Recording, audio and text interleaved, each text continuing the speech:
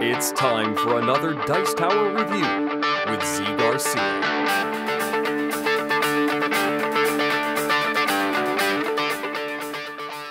Hey everybody, today I'm taking a look at a card drafting family weight game called Sheep and Thief published by Pegasus Spiele.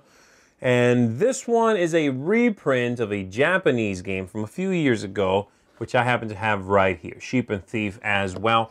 I actually did a review of this original one some time ago, so if you wanted to, you could go back and check that one out as well. But I, I figured this one was enough of a of a different production to warrant its own look. So that's what I'm going to be doing today. As I said, the game has a little bit of drafting in it. You also then take that those drafted cards and play them in front of you as tiles. Try to make connections, have sheep on your little farm, and protect those sheep uh, from the other players so uh, they don't take them away from you.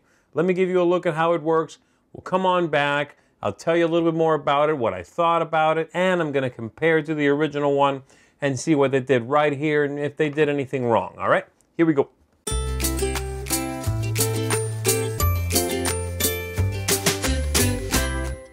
The game's going to be played over three rounds with each round involving two parts. First thing you'll do is you'll draft some cards. Everyone's going to be given a few of these. You keep one past the rest. Keep doing that. And then you're going to, for the second part, play some cards to the board here, trying to make victory points. At the end of three rounds, you are going to get victory points from each sheep you have on your board or on your pen. You're going to get one victory point for that. If you connect your starting location here to this town, you get five victory points. To this town, you make five victory points. If you make it down here, you get a bonus 10 victory points. And then you'll also make some victory points from river cards that you'll play throughout the game. All right. Uh, so that's basically it. Each player is going to have one of these boards. I'm just going to show you one for the sake of simplicity, but everyone gets a starting card. They're double sided for ease. And everyone puts one of these uh, fox tokens in the uh, in the denoted spot. Okay, everyone's board is identical, and then you can begin the game. You are going to deal everyone five cards from the shuffled deck here, and then everyone's going to take a look at those cards. They'll keep one, they'll pass the rest, they'll get another four from their neighbor, they'll keep one, pass the rest, and so on until you've drafted five cards. After that, from the start player again, you will play a card to your board as long as it is adjacent to another card already there. And then the next player will play one and so on. From the five you are holding, you are going to play four and carry one over to the next round in which you will both draft the other way and you are going to be dealt four cards to bring you back up to five. All right. So, what do the cards do? What does everything mean? Well, the cards are going to feature a couple of different things. You are going to have roads, which you do not have to connect. This is perfectly legal, though I am, of course, cutting off that road. It's not ideal, but you can do it. They're going to have sheep on the little cards here in uh, various groupings. Sometimes you have a single sheep, sometimes you have more than one. And in fact, each player starts with one up here on their starting card. You are going to see little dogs that are going to move your sheep around. You are going to see rivers that are going to score you victory points, but they are harder to deal with because you have to connect rivers.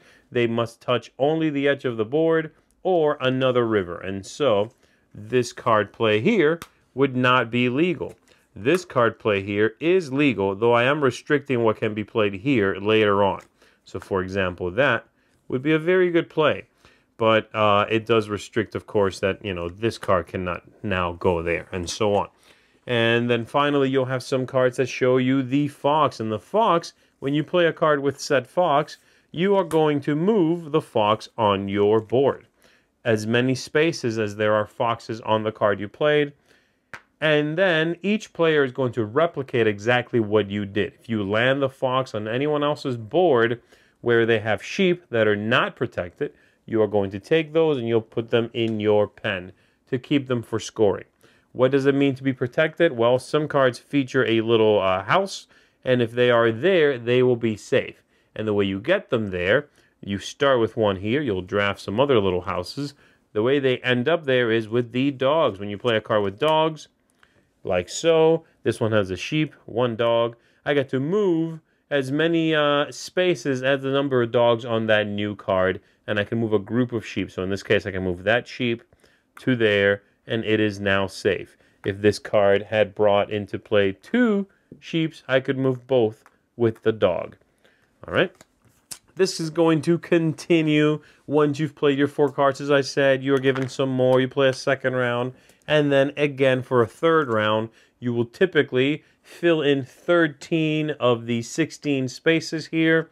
You can now play where the fox is, by the way, wherever it ends up.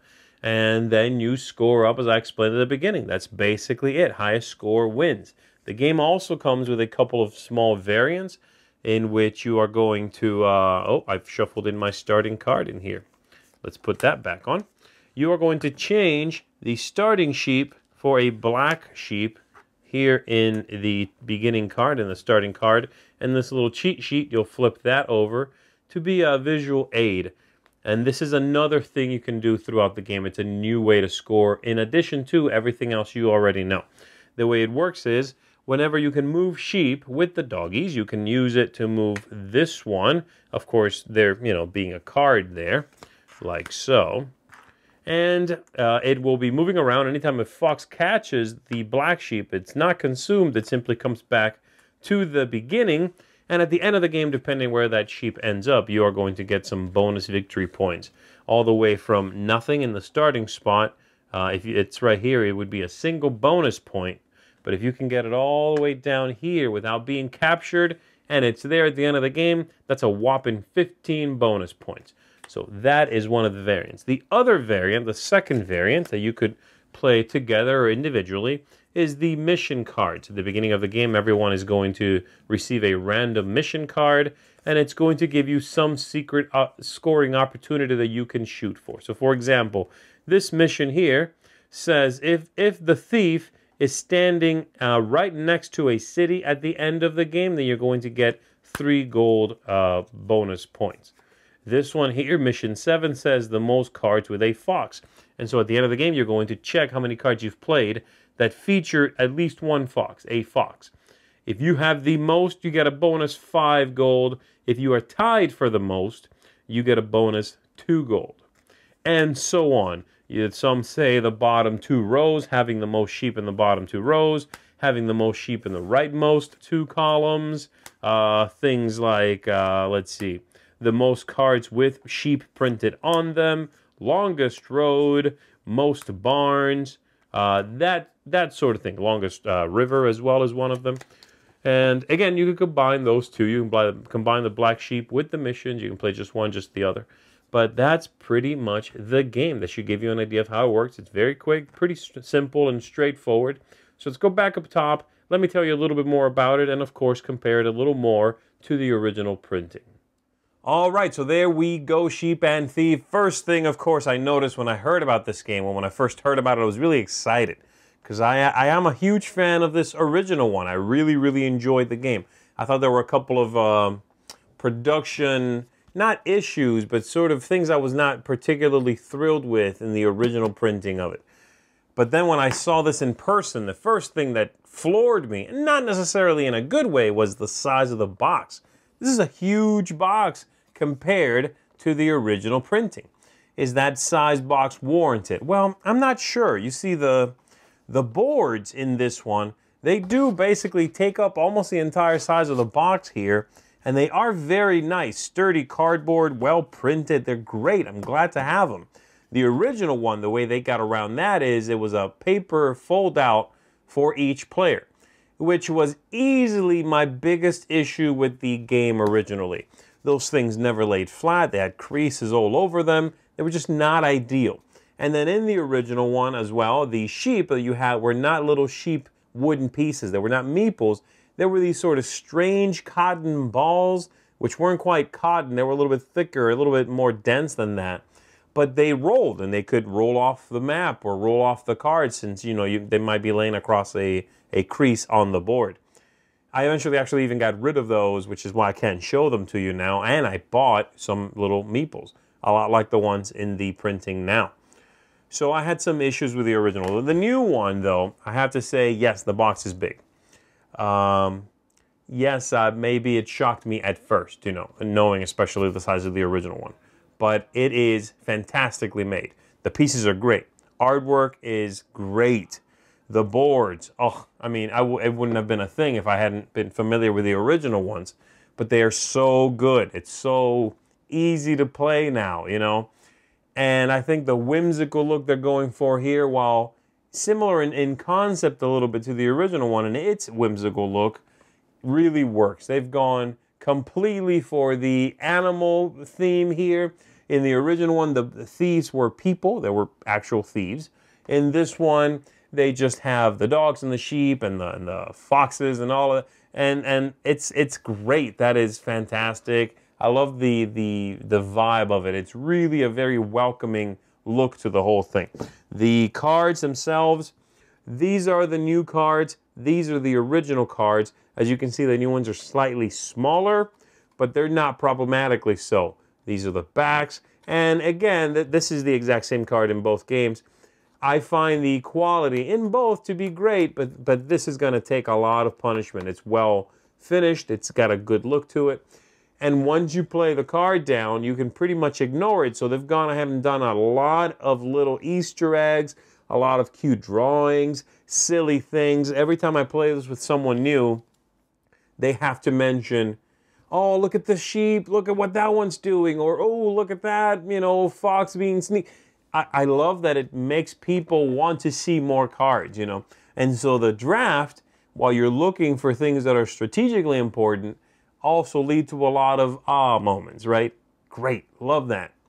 Because that means I can get it to the table more often, you know.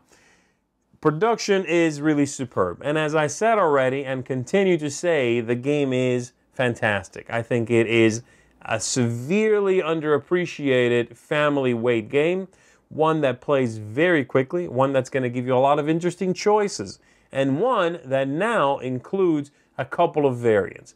That Black Sheep variant was in fact available before as a sort of promo to the original one. It was not in the box. Now it's in the box and they've gone ahead and added those mission cards and that is entirely new that had not been out before as far as i know in any form so i would very much recommend you get this game hopefully it'll now be much more easy to uh, to attain and it is going to i think be a big hit if you want to play with a mixed group of the kids and the parents if you want something that's a nice quick filler with a little bit of meanness with moving the fox and capturing other people's pieces but not too much. You really want to try to do well yourself. So, big, big thumbs up from me. This one gets a seal of excellence, no question. And I recommend you check it out, as I said. That is Sheep and Thief.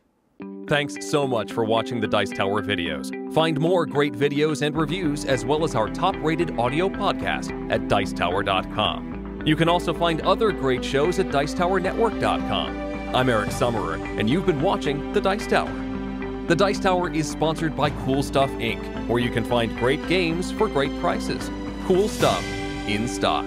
Check them out at coolstuffinc.com.